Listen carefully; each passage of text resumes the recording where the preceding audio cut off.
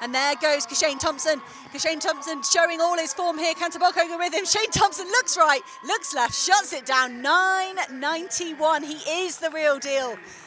Kishane Thompson, that is a big test for him coming up here against the likes of Akani Simbine and Letsile Tebogo, and he's passed. Jamaican gets a convincing win. Tebogo underneath 10 seconds for the first time this season. That's uh, a first defeat over 100 metres this year for Akani Simbine. Loads more in the tank there for Kishane Thompson.